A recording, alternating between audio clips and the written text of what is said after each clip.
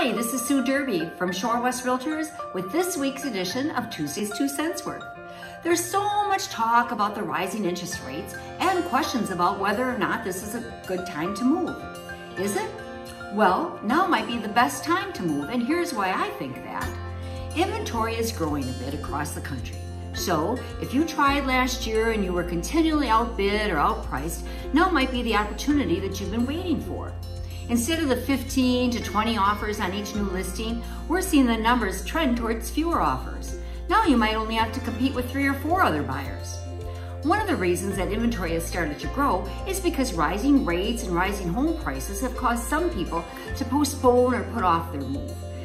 It's also the time of year. People are busy with summer activities and vacations, so we typically will have less activity during the summer months.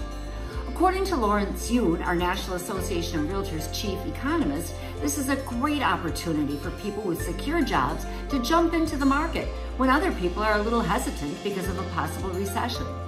So if you're ready to take advantage of some good opportunities to make a move, just give us a call.